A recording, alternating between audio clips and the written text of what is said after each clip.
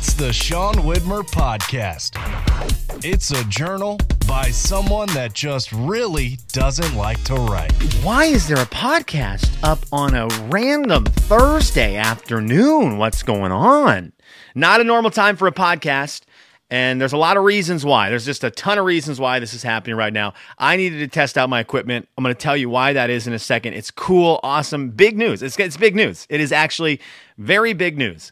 And I've been doing the podcast here in the new house for a couple months now. I've really enjoyed doing it here. We started getting back into video, and I've been broadcasting here from the podcast dungeon, which a lot of people always commented on. What are you doing? Recording there. I just loved it, right? I love dungeons. And so it looked like the dungeon in here, but I've got to change the look of it because of what's coming down the pipe. We'll talk about that in a second. So if you're watching on YouTube, you see a new background. It's it's just uh, my favorite one of my favorite things I've ever purchased. It not ever. I mean, but one of my favorite pieces of decoration I've ever purchased. It's a map. It's a drawing of a map of Spokane in I think 1908 and it's it's really cool and it's, I, it's something I love. They had it at Browne's Tavern in Browne's Addition, and it was on one of the walls there. And I remember going to breakfast with Anna one day when she was visiting from Los Angeles, and I saw the poster. And I never would have gone in there because it was a, it was a breakfast brunch place. I don't like breakfast, but Anna loved breakfast, so we went and got breakfast there. And yeah, I saw this on the wall, and I scoured the internet and finally found one and snagged it and it's been one of my favorite things to hang on the wall wherever I've lived since then. And my dad made like a little frame for it that's kind of cool. I, I love that because my dad made it, so that's that's sweet.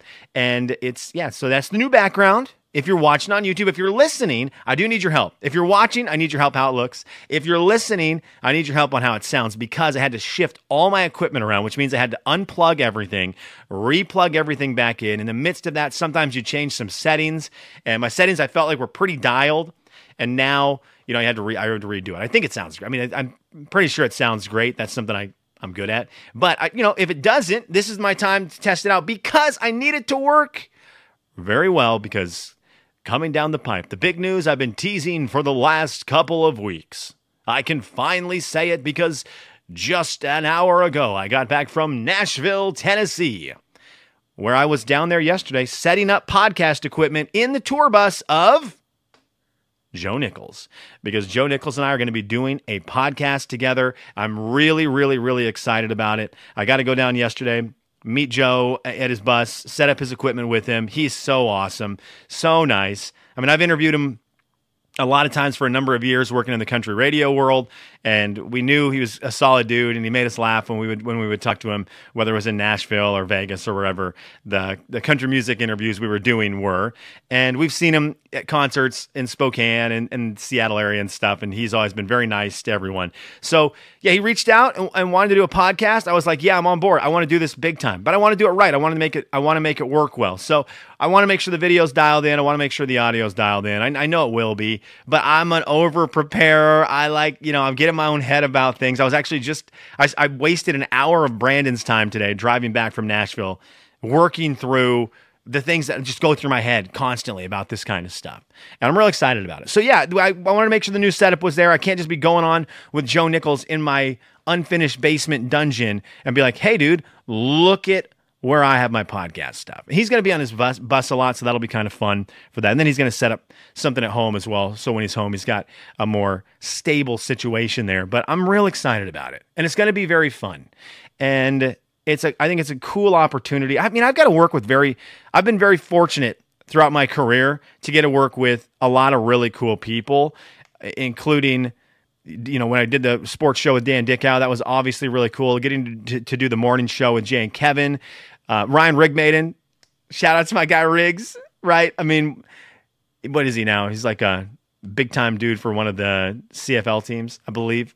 But it's, you know, I've, I've, got to do a lot of cool things with a lot of cool people. And I'm just like pumped to get to work with Joe Nichols and get to do a podcast with him. So that's going to be coming down the line. I think we're going to try to get episodes out as soon as, as next week or the week after that. We're going to start getting this rolling.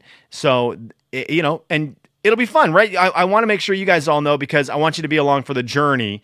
The journey is is crazy, right? When you're starting a new podcast out, because I've done podcasts for 20 years, 2005. I've done podcasts for 19 years. I've been doing this, and I've I love them, But you know, I've never done it at that level where it's this is meant to be a really cool big podcast. Mine's always just been kind of goofing around a little bit.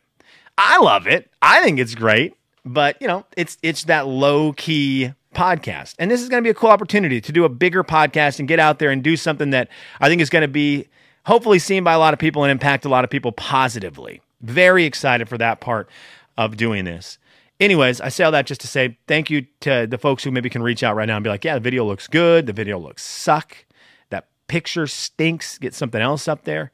Uh, make sure the audio is sounding good. I need to, I need to post it so I can listen back to it and make sure that all my settings are right. So yeah, thank you. And I hope you come along with this journey with us. It's going to be fun. Talking to Joe was great. Going to Nashville was fun. By the way, going to Nashville, I love that city.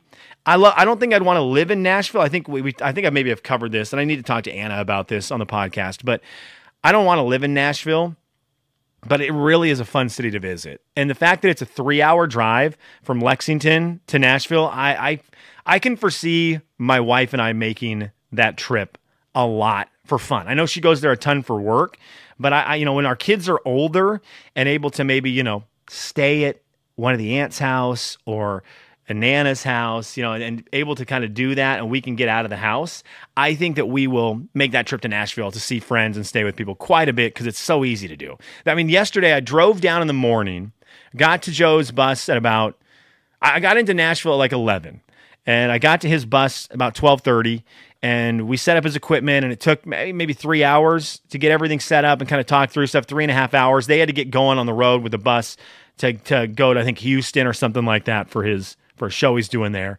And so as the members of his band started showing up, I was like, I'm gonna get out of the, out of his hair. So I left at like I got out of there at four o'clock, and I thought in my head, well, maybe I'll drive back tonight. That's how close Nashville is, right? Maybe I'll drive back tonight and and get home, sleep in my own bed, and do the whole thing. But my wife was very supportive of like stay in Nashville, stay with her friend Emily, go out, get some dinner, and just kind of relax without the kids. And I, I, when I left Joe Nichols' bus, I thought, no, I'm going home.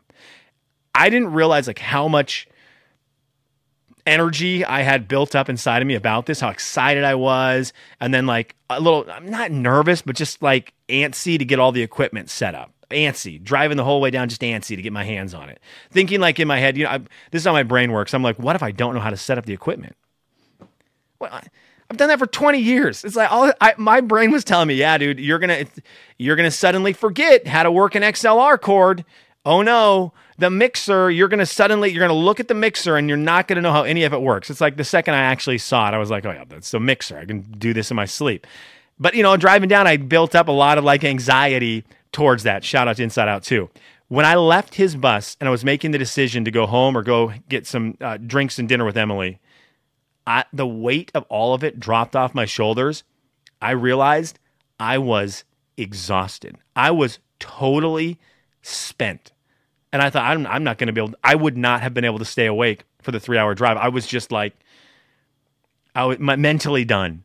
So I stayed in Nashville last night. We had a ton of fun. Went out with Emily. She she lives in a really cool neighborhood near downtown.